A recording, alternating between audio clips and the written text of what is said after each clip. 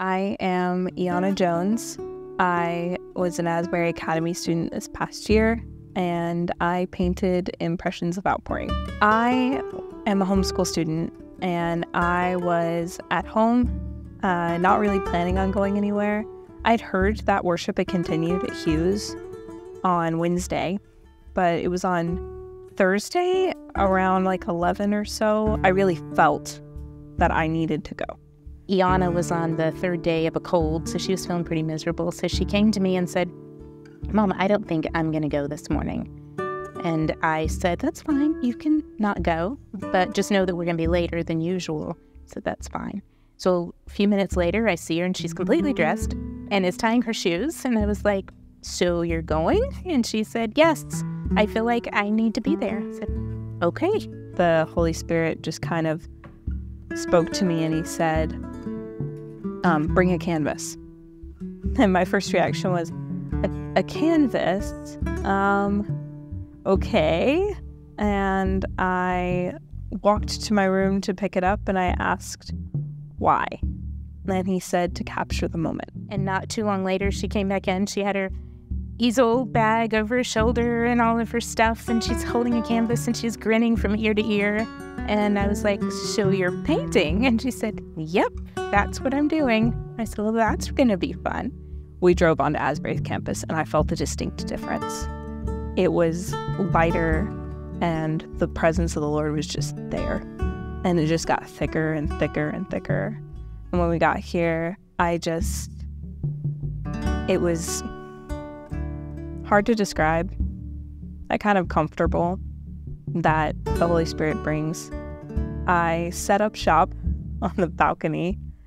I supported a small canvas for sitting on a table with a hymnal and a Bible, and then wrapped those in brown paper to make sure they didn't get paint on them. And then I just sat there for a minute and just asked the Lord, like, how do I do this? How do I capture this moment? I can't really describe too much of how it happened. It was just a lot of worship and obs- observation and and praying into what I was going to paint.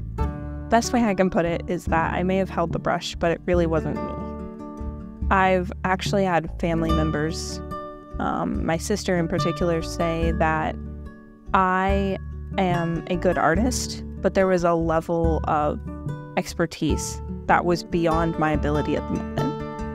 I want them to be able to remember what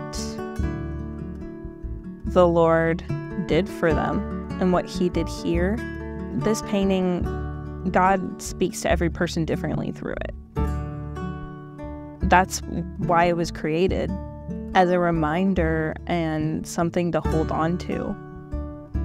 And there are many other things that people can see in it and ways that the Lord has even shown to people a depth of what he did here and across Asbury's campus and even across the world at this point.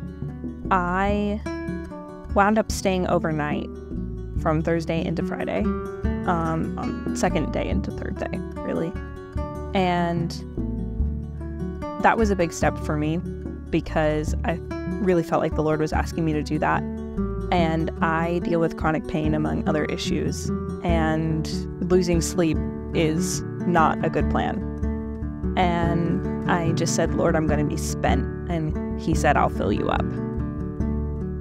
And just being able to sit in his presence and see all the people that were there really just ministered to me in like that's what eternity is going to look like.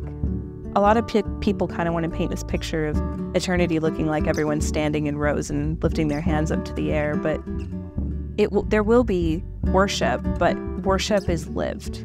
And being able to see people live worship as praying for one another, as encouraging one another, as giving hugs and dancing and painting and creating and even eating snacks in the back room. Like, just being able to see that gave me such a larger appreciation and desire for that eternity, for when the world is made new.